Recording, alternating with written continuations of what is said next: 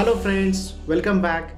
From this video, we are going to learn top decision making tools that will help you to take the decisions in critical situations. These tools we are going to understand with the help of practical examples and also what are the situations in which we need to use those tools.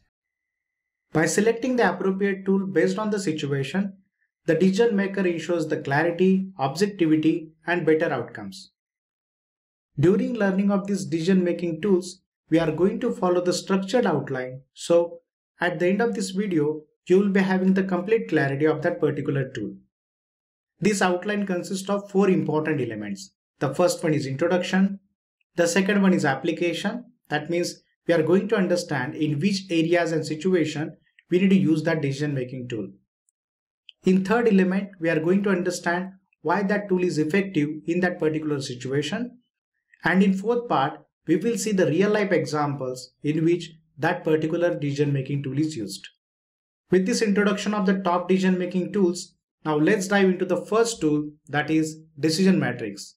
As I said, we are going to see this tool in four important elements that is introduction, application, why this tool is effective and the real life examples. In introduction, we can say that the decision matrix is a structured method to compare multiple options against specific criteria. This comparison is done by assigning the scores and calculating the weighting score for each option. The highest score in the prioritization matrix is also an indicator of highest priority. This decision matrix is ideal for selecting between alternatives when multiple factors need consideration, such as project selection, machine selection, vendor selection, etc. etc.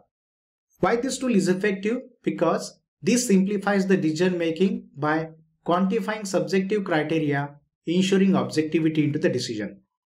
Now let's see some of the real life situations in which we are going to use this decision matrix. The use of the decision matrix is the great option when we are going to select the best supplier for the raw materials based on cost, quality and delivery time.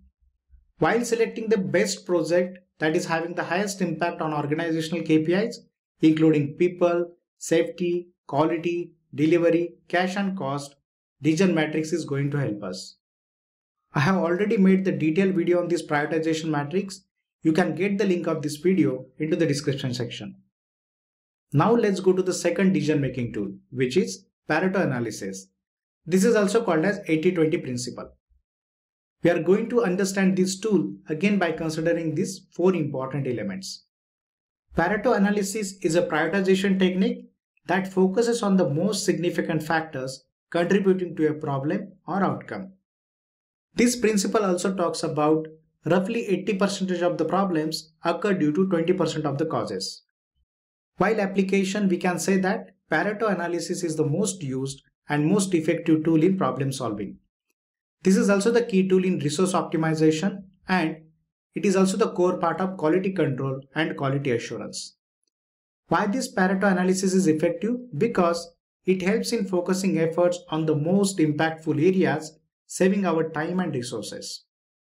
If you want to see the real life examples in which the Pareto analysis is used, it includes identifying that 20% of the product defects causes 80% of the customer complaints in a manufacturing process.